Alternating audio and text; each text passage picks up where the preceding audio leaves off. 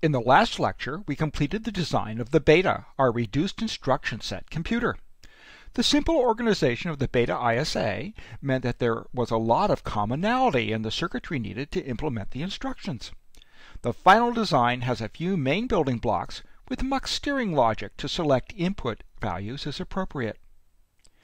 If we were to count MOSFETs and think about propagation delays, we'd quickly determine that our three-port main memory, shown here as the two yellow components, was the most costly component, both in terms of space and percentage of the cycle time required by the memory accesses. So in many ways, we really have a memory machine instead of a computing machine. The execution of every instruction starts by fetching the instruction from main memory and ultimately all the data processed by the CPU is loaded from or stored to main memory.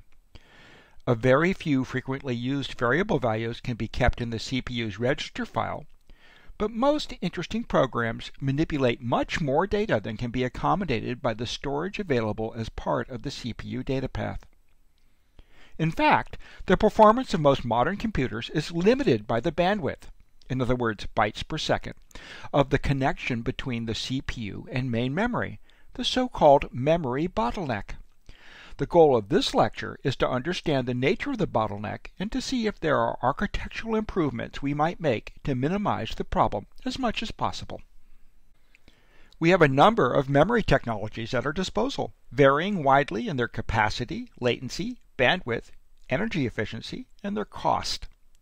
Not surprisingly, we find that each is useful for different applications in our overall system architecture.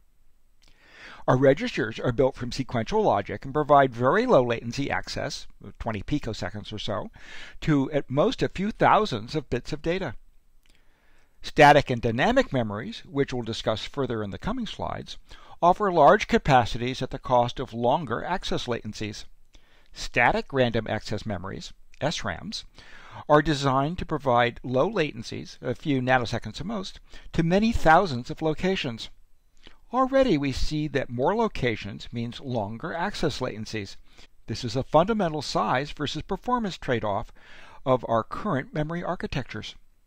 The trade-off comes about because increasing the number of bits will increase the area needed for the memory circuitry, which will in turn lead to longer signal lines and slower circuit performance due to increased capacitive loads.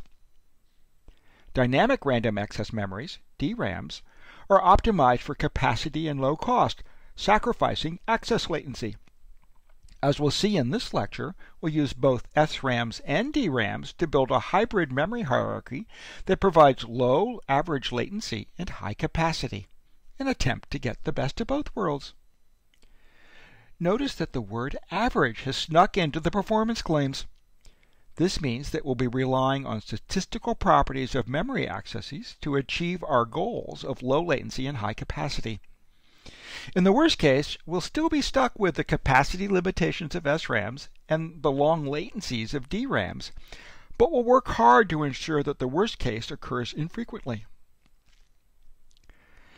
Flash memory and hard disk drives provide non-volatile storage. Non-volatile means that the memory contents are preserved even when the power is turned off. Hard disks are at the bottom of the memory hierarchy, providing massive amounts of long-term storage for very little cost. Flash memories, with a hundredfold improvement in access latency, are often used in concert with hard disk drives in the same way that SRAMs are used in concert with DRAMs. In other words, to provide a hybrid system for non-volatile storage that has improved latency and high capacity. Let's learn a bit more about each of these four memory technologies, then we'll return to the job of building our memory system.